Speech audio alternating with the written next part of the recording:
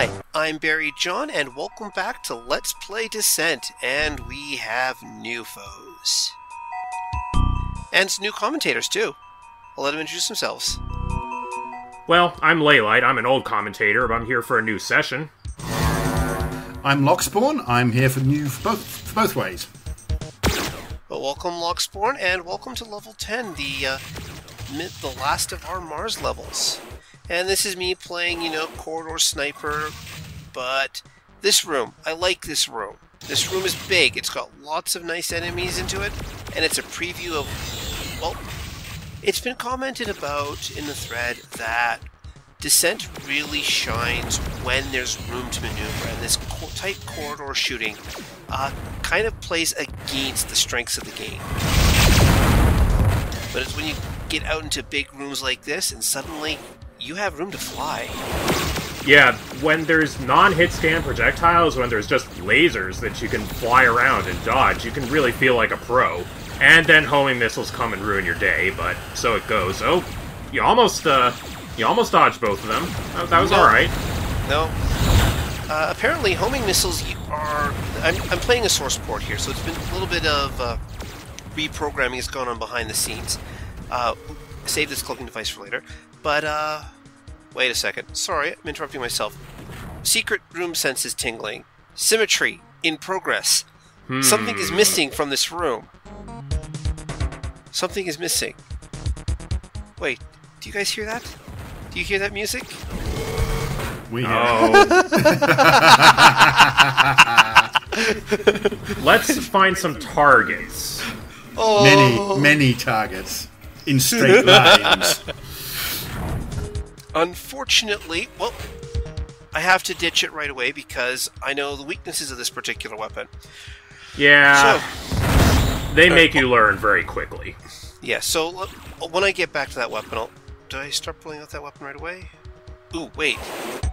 That is a driller that's had his back turned to me. Die. And Rare I- sight. Yeah, and I nailed it with a concussion missile. Look, they ruin your day so often, it's only fair that you get to ruin theirs. True. Uh, so as I was saying about these homing missiles, uh, it used to be that homing missiles updated their tracking based on your on the speed of your. Oh my god! I have zero shields. It's okay. Extra Not a hole. Yeah, sorry. Homing missiles used to uh, update their tracking based on how fast your uh, processor was running, because it would do the calculations every so often.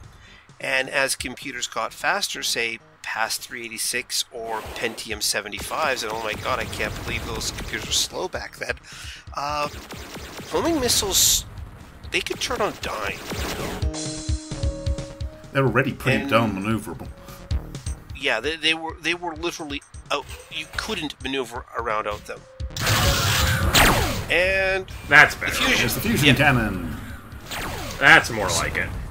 All right, so behold the fusion gun, the single most powerful weapon in the game. Each of those purple blobs deals about 30 damage on a hit, and oh man, they are. It takes a lot of practice to actually hit with both of them, but even if you hit with one, that's solid.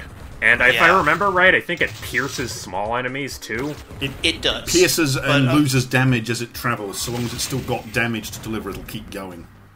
Uh, but as I was saying, like, like the uh, hitbox on the fusion beam, it's gargantuan, which makes shooting through tight corridors a pain, especially once you re- realize that. Uh, well, you start shaking as you start arming it. So, Well, Ow. you had a pretty good run. Sound still makes me flinch. yeah. But as I was saying, like, the fusion beam causes your uh, reticle to shake, your entire ship to shake as you're holding down the trigger, because the fusion beam isn't just a click to fire weapon like everything else. No, it's a charge weapon. Yeah, they pulled out all the stops to make this thing seem powerful, to have that kind of powerful game feel to it, you know? Uh, unfortunately, like I don't use the fusion beam a lot because it is a niche weapon, and it's one of those things where if you're pulling it out, like it's huge. Yeah, It's like it's it's nice for one-on-one encounters with big enemies, but that's not how this game plays. This game plays to make you deal with groups almost all the time. Yeah. Mars levels in particular seem designed to have lots of fast moving enemies that spray shots at you in wide areas, which isn't the greatest place to use the fusion cannon. No. Uh, like the fusion cannon does have wonderful like does have uses like if you can get a clean shot down a corridor with a bunch of enemies your corridor is clean but it's also got the problems of your ship shakes as you're arming it uh, the hitbox if it even clips a wall just goes away and there you can see the proper use of the fusion beam you know just one shot Will you be seeing any uh, long charge time shots later on? Yes, but not for a while because honestly, unless I'm going up against uber like really powerful enemies, remember when you're charging, you're shaking, so it's definitely Yeah. a case of definitely a case of you know you need room to maneuver, and it's really like a close range weapon because if you can fire that thing off at point blank range, that's the best for it. Yeah, that that plasma can you were just using just now seems to be a lot more accurate for sure. Plasma is Yeah. worth Wow. some discussion. It was very popular as a multiplayer weapon back in the day. Um, Yes. It does. It's very rapid fire. It's very high damage just because so many projectiles are flying down range. It fills your screen and it drains your battery like nothing else. Yeah, I mean, as I've mentioned in the previous video with Speedball that you guys haven't uh, seen or heard yet, uh, the quad laser, like the lasers here, they're the most energy efficient weapon, so I tend to default to them for the most part. But the plasma weapon has the highest DPS, and I fully deserve those missiles in the face. Yeah,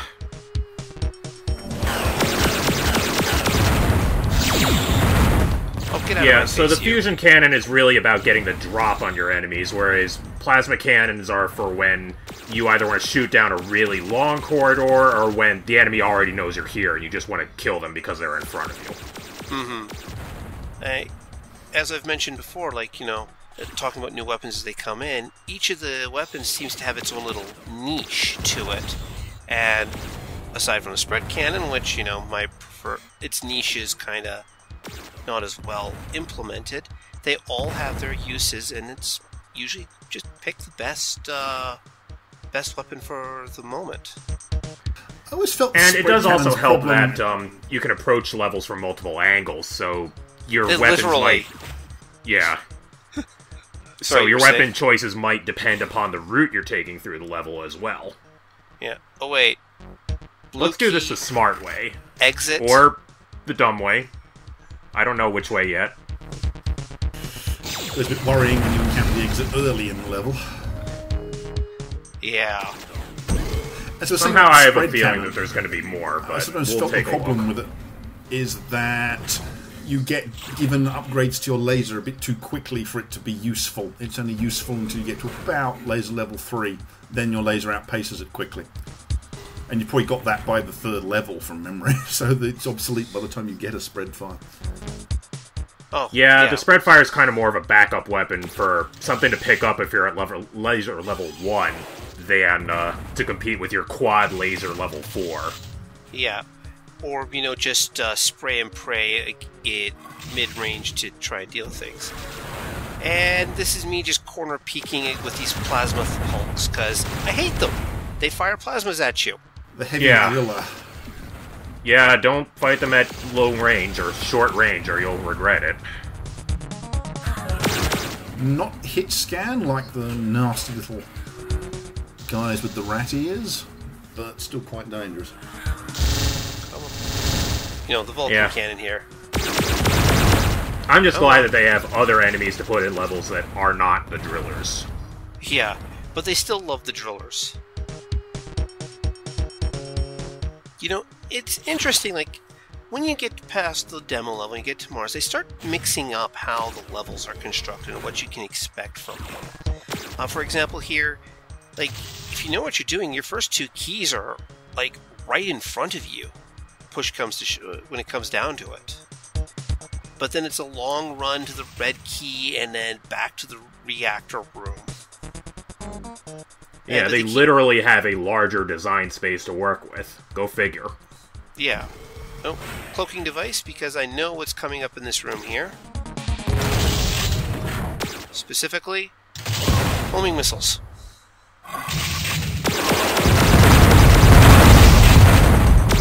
And a spare quad upgrade in case it was needed. Not that I need it because I'm awesome and have the power of saves. Come on, come on, come on. Oh, wait, somebody's shooting at me from behind. Crap. And They know you're somewhere over there, but now they Yeah. can see you. But there's a, another cloaking device and there's an invulnerability also hidden in this room, which I will be using on my way back out. Yeah, some days it feels like half the point of the robots is just to get physically in your way as opposed to just shooting you, so that you can't just fly straight through them. Yeah. So I have three corridors here, and they actually all lead to different areas. If you have Oh, it's the the fun here. time uh, aileron roll corridors again. Yeah, but unfortunately, they're not that long, unfortunately. Me just making sure I have relatively accurate. Uh... Now, this section I'm going through, you can pretty much skip like 90% of it. Because you don't need to go down this corridor at all. Yeah, this isn't Doom. You don't get a uh, enemies killed rating percentage at the end of it. Yeah, but that particular corridor I'm going to deal with later on because uh, it is a massive, colossal trap. You know, I think that door is part of the trap too, just uh, making it so you can't run away from those homing missiles at the wrong time. Yep. But There you go. to- Hey, smart missiles for smart play. Yeah, I don't know to what extent they did this in Descent 1, but oftentimes in Descent 2, they'd hide uh, smart missiles behind a secret because you had to be smart to find them. Yep. Uh, it, that's actually a, a punt. Wait, something's familiar down this corridor. Is that what I think it is? Hmm. Is that what I think it is? Yes! Oh, More power! Let's the makeup immediately is- find a tiny enemy to blow up with it. Uh, actually, I'm making just missiles is a great away- way of killing yourself. Yeah, actually, I'm just going to run away to uh, refill my energy and then I'll be back because I'm down to 37 or sorry 39. We passed a spawner a moment ago, and that reminded me of something because in an earlier video, people were talking about spawner mechanics. Um, the way spawners actually work in Descent 1 is that there's a map trigger that turns them on, and they run through a preset program, and then, provided you're not on insane difficulty, they eventually turn off.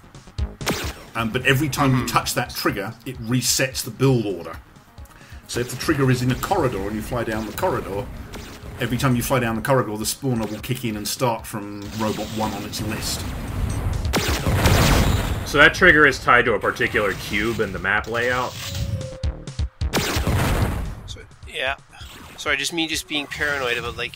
There's no way it'd be that easy to get to the spread fire cannon now, would it? Eh, it's just a spread fire cannon. Who cares? They're a dime a dozen now. True. We've already moved on to plasma weapons. Spread fire cannon was last year. So blase. Tell me about it. Yeah, these But yeah. robots are such slaves to fashion. True. Well, that's definitely making some noise.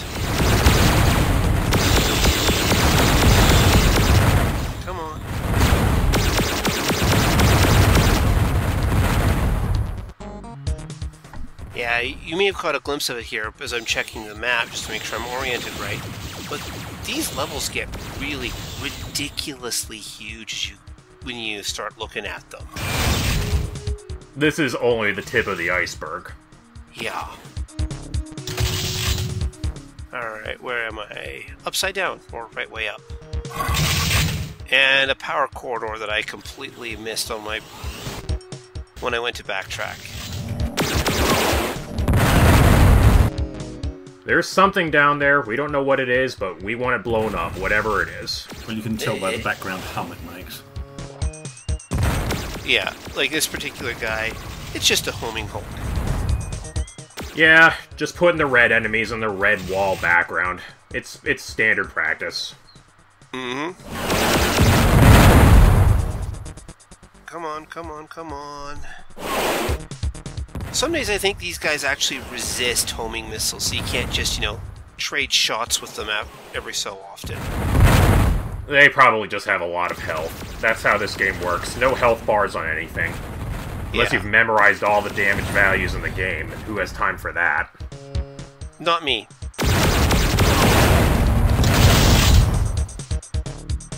Always remember the trick with these guys was to just spam weapons fire at them because there is a flinch mechanic, and if they're being put knocked back by some kind of impact, they won't fire. Yeah, that, that's actually one of the things that the Vulcan cannon is useful for. Because it will cause the flinch, because each of these individual shots just keep piling on. Paranoid checking for secret walls, but Yeah, guess I know your ship can sometimes take minor damage if you hit a wall too hard, but I wonder if that also applies to the robots. No. Hmm. And let's see here. I have the red key. I have everything I need. Wait, nope, not yet. I don't have everything I need. I need to be completionist about this. Yep. And leave the invulnerability for something else. Hey, who opened that door? Nope. It's this right here, Ah, which is a giant, colossal trap room. He's somewhere around here. Just keep shooting. We'll find him eventually. Yep. You just checking the room here.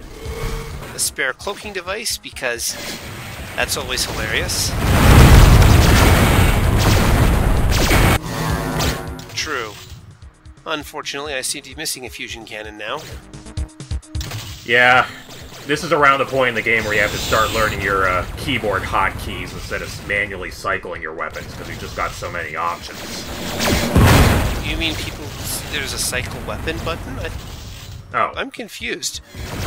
hmm. But to be fair, I have an actual joystick I'm using while I'm playing this game, so Oh, I see. So you just hit the uh, Mega Missile button in your uh, cockpit recreation that you're just sitting in. no, I don't. I don't have one of those awesome, you know, sit down super chairs with like 360 uh, screens. Look at all that stuff. I, like words fail me. There we go. We fit all of that into this little plane, and it's uh, it's a beauty now. Mhm. But that there's the fusion beam going off because you never know when you just want to say "fuck you." Yep. And honestly, like you know, seriously, guys, you don't need to come down this way at all. That entire room section is just not really needed.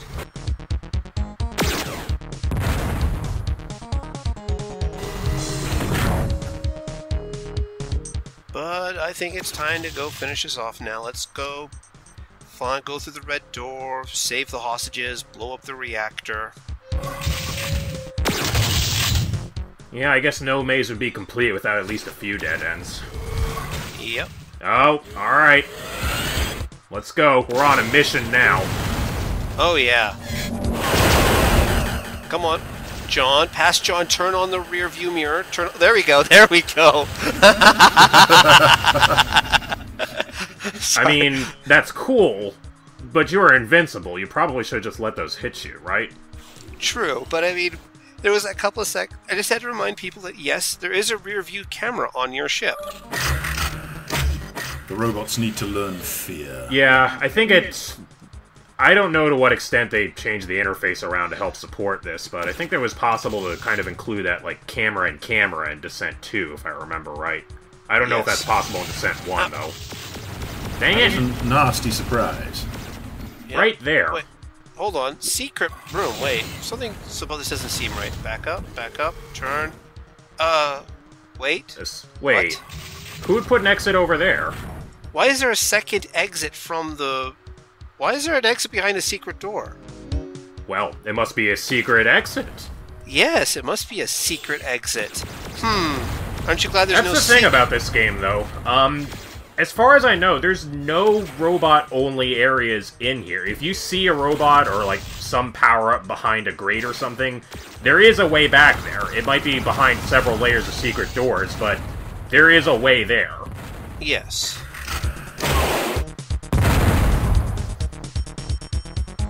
And that's a rule that some other FPSs just break. Like, they just have areas where guards or whatnot are just standing over, and you can't ever get over there. Mm-hmm. And this is actually, you know, people are used to like the square rooms and the big rooms. Suddenly there's this really thin little room here. And it kind of messes with your perceptions of things. Yeah. Yeah, this this game does a great job of, uh, well, pretending that it's not cube-based. I swear I get better at taking those save things out. I swear I get better at it. At least for once I can understand why the hostages are actually trapped. It's not like they can jump that lava pit. Yeah. You know, we're wondering how we fit the hostages in. I think we must strap them under the wings. Probably. Well, technically, like the Pyro GX is 4.6 meters long, uh, and the cockpit is only like the first meter and a half of it. So there's room in the back for you know people to sit down or cram together. Makes you wonder where all the missiles get stored then. On those On the wings, wings. at the back. Well, okay, how about the nine weapons we have then? underneath. Hmm. Also, me saying, you know, screw it. I got. There we go. Wow. Now that's a sight for sore eyes. Yeah. Oh, now. This is where the reactor rooms start getting tricky. Yep. Well, I mean, they've been tricky since, what, episode 3, but they really try and dial it up a notch now. Yeah, because that that this just screams trap. You know, we've already So- had, like, what, five traps that were exactly like this? Mm-hmm. But so I'm going to do something silly. There's a cloaking device. Don't grab it yet. Passing through here turns on the doors, and the triggers don't always trigger properly, so you have to be careful about it. Also, this would be a great spot to use the uh, mega missile in, but I want to save that for a fun day. Yeah, so that's tricky. I think this is the first time they've actually hid the reactor behind an opening and closing door like this. Usually they just hid it behind a whole bunch of robots, but at least the path was always clear. This time, you don't get huge windows of opportunity. So I guess they're encouraging you to use your missiles instead of your uh, lasers this time. Yeah. Uh, part of it also, you know, this nice little secret door here. Uh, doors stop moving when you shoot them. So it's very possible to prop this door open by constantly firing through it to uh, keep the the door open instead of closing and allowing you to shoot through and hit the reactor. Nice flying to get that smart missile, by the way. Yeah. And this is where the claustrophobic bit gets really cool because you've got to find your way out. As the uh, yeah, but fortunately there is a quicker exit. And might as well go for it. Oh, Neat. oh, secret level. But yeah, join me next time when we go through a level with lots of things we shouldn't be seeing yet.